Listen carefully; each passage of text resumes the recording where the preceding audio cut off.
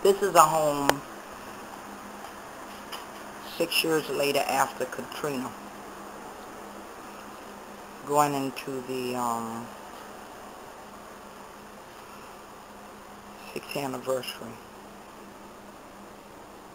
of Katrina. And as you see, it's a home that's not been completed.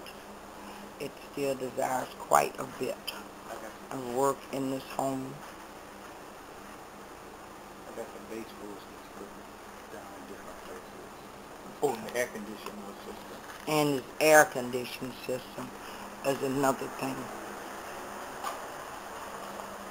That, that's the, that's the breathing part for the suck in the air and the, with the air conditioner on the outside, hook up, that's on the outside.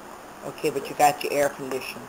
Yeah, I you need to have it connected. Connected and charged up. Okay. Let me, um, Mr. Mr. Brooks, how, how long has your home been like this?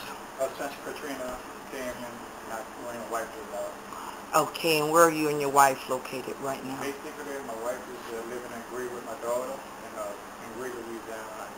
It, and Gray lies between Houma and Thibodaux, which is on the Highway 93 area. Okay. Uh, and uh, we stayed with my daughter. We, Trina brought us over to, we lived in Bayou Black for about two years, and my daughter was best to get a home two years later, and she's been in the house now about two years, two and a half years.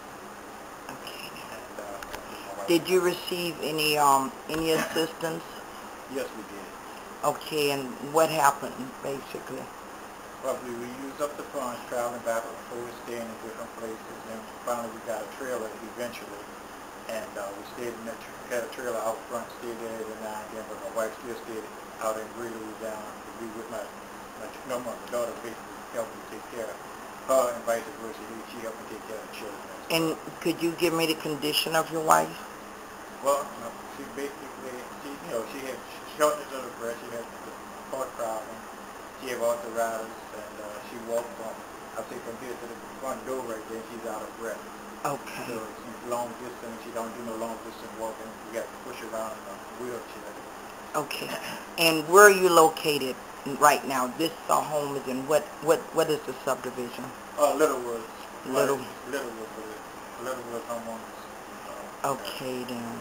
All right. Um, I needed to ask you.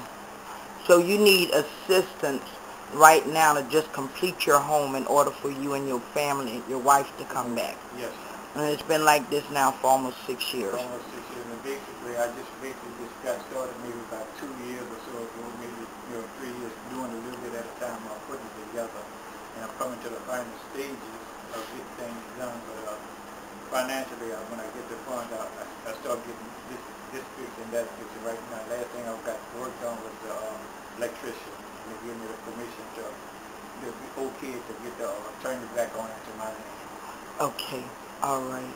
So what is, what what is basically um would you say the condition of Little Woods? Is it has it come back? Oh, it's coming back, and on this particular block here, you got one, two, three, four, you got four, five houses, maybe six.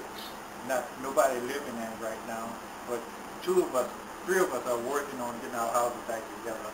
Myself and the neighbor down the street, and neighbor Jason across the street. Okay. We're working on a house, slowly but surely, when we get the funds to get something done, that's what we're doing. Okay, I've had some to identify this community as a forgotten community. Uh-huh. Little Woods as a community that has been forgotten.